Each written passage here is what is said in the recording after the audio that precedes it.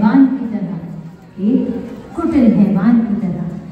सामान्यतः रौद्र रस को एक नकारात्मक सोच माना जाता है, क्योंकि इससे प्राणियों का मन ही नहीं, अपितु सारा वातावरण भी दूषित हो जाता है। यह लोगों में समाया हुआ अहंकार का प्रतिरूप है। जब किसी प्राणी की उम्मीदें और इच्छाएँ पूरी नहीं प्रायः कोई क्रोधी स्वभाव का व्यक्ति क्रोध को अपनी कमज़ोरी के रूप में स्वीकार न करके इसका कारण बाहर ढूंढता है।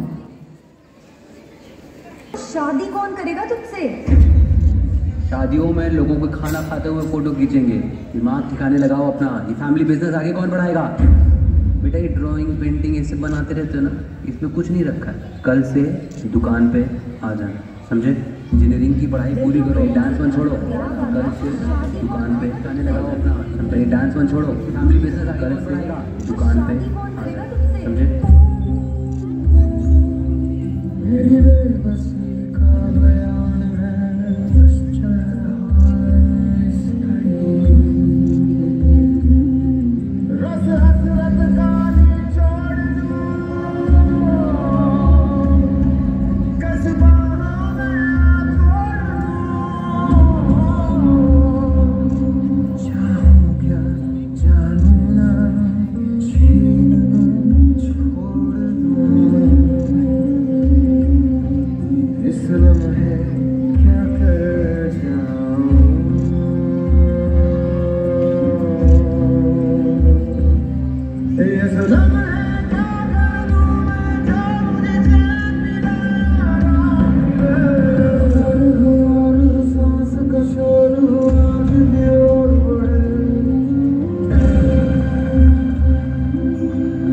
टैलेंट से नहीं, लोगों के तानों से मेरी किस्मत बुनी जा रही है। जी करता है कभी कभी खुद को मार डालूं कि अब मुझे अपने आप से नफरत होती जा रही है।